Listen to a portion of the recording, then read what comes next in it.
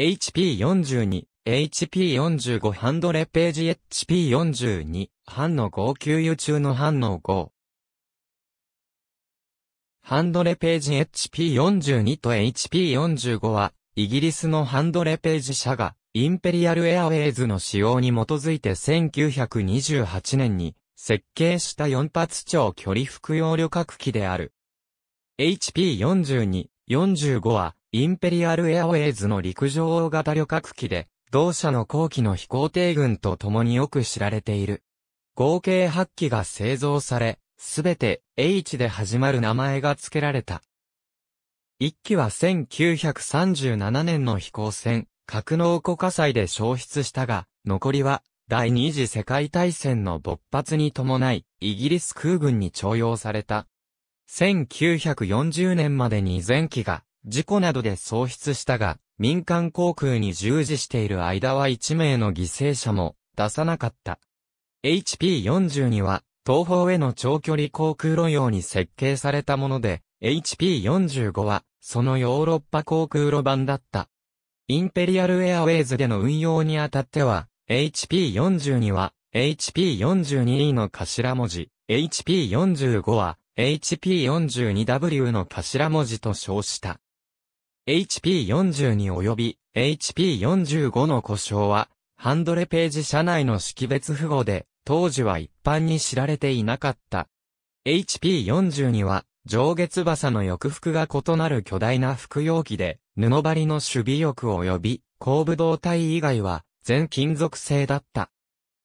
上下翼は、ワーレントラス構造の翼間支柱で結びつけられていた。水平尾翼も服用式で3枚の垂直尾翼を持っていた。HP42 は490馬力のブリストルジュピター財布エンジン4機で駆動したが、HP45 は555馬力のスーパーチャージャー付きブリストルジュピター XFBM エンジン4機装備であり、大パワーを得る代わりに燃料消費量を犠牲にしていた。いずれの方も、エンジン4機のうち2機を上翼に置き、他の2機を胴体左右の元翼に置いていた。乗員区画は密閉されており、客室は翼の前後に1区画ずつあった。HP40 には、前方客室に6名、後方客室に12名の乗客を収容し、で荷物室も大きいものだった。一方、HP45 は手荷物室が縮小された代わりに、前方に18名、後方に20名の乗客を乗せることができた。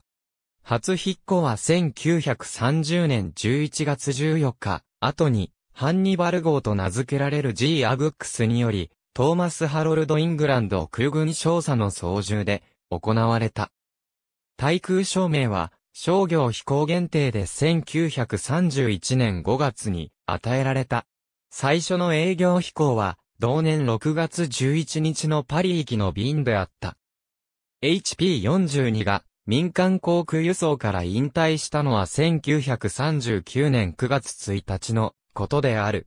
HP42 は大きな事故を起こすことなく、ほぼ10年に及ぶサービスをやり遂げた。生産機数は HP42、HP45 各4機である。HP42、HP42 は、アフリカ航路、インド航路用の長距離型であり、カイロに拠点を置いていた。HP45、HP45 は、インペリアルエアウェイズのヨーロッパ路線用として、航続距離と貨物搭載能力を減らす代わりに、より多くの乗客を運べるようにしたものである。初見性能。ありがとうございます。